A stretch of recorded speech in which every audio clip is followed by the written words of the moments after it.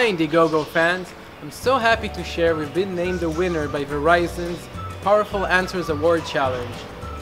Aside from recognition from the mobile giant, it also means a significant grant, which is why I'm super excited to announce we've decided to donate all funds raised on the Indiegogo, past, present, and future, towards devices that will go to people in need. Also, since we've secured funding, we can fulfill on all our stretch goals. So we're offering a Sesame touch-free tablet version as well and support for Switch input. So go on, give someone his first accessible smartphone, or half a phone, or even just 5% of one. Every donation helps. It all adds up towards devices going to real people in real need.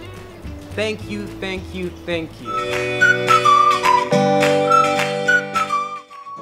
Today we're bringing Ori his first touch-free smartphone.